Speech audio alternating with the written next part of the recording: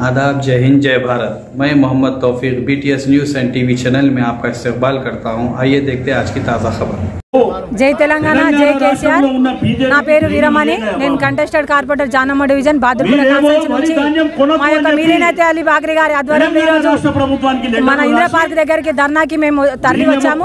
ఇక్కడ అందరము బాదుర్పుర కాన్స్టిట్యూన్సీ ప్రతి డివిజన్ ప్రెసిడెంట్ మహిళలు అందరు కలిసి వచ్చారు. మా యొక్క కేసీఆర్ గారి పిలుపు మేరకు ఈ రోజు ఇందిరా పార్క్ దగ్గర వచ్చి రైతులకి ఏ ఏ రకంగా అయితే బీజేపీ పార్టీ అన్యాయం చేస్తుందో కేంద్రంలో ఉన్నటువంటి బీజేపీ పార్టీ రైతుల పక్షపాత పార్టీ.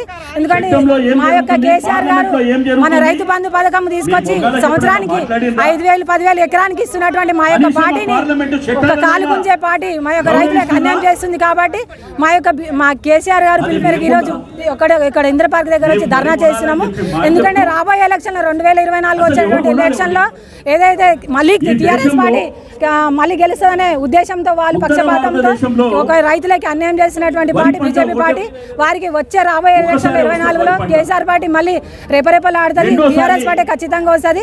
వారికి కుక్క కుక్క చెప్పు దెబ్బ కొట్టే విధంగా రెండు వేల ఇరవై నాలుగులో వారికి తెలుస్తుంది కాబట్టి మేము బీజేపీ పార్టీకి సౌతి తల్లి లాగా మా యొక్క టీఆర్ఎస్ గవర్నమెంట్కి సౌతి తల్లి లాగా బీజేపీ పార్టీ ముఖం పెట్టుకొని మాట్లాడుతుంటారు ఎన్నో ఎన్నో ఏమో అన్యాయం చేస్తున్నారు ఎన్ని అన్యాయం చేస్తున్నారో మాకు తెలుసు. ప్రజలకు అన్యాయం ఉన్నటువంటి మేము ప్రజలకు న్యాయం చేస్తున్నామనే మాట మాట్లాడుతుంది అబద్ధాలు మాట్లాడుతుంది కేంద్ర ప్రభుత్వం టీఆర్ఎస్ గవర్నమెంట్ కాదు. కాబట్టి ఖచ్చితంగా వారికి శిక్ష అనేటువంటి టీఆర్ఎస్ పార్టీ ఇరవై నాలుగులో ఖచ్చితంగా వారికి దెబ్బ పడుతుంది కాబట్టి వాళ్ళు ఏదో మాట మాట్లాడి ఇది చేస్తున్నారు కాబట్టి జై తెలంగాణ జై కేసీఆర్.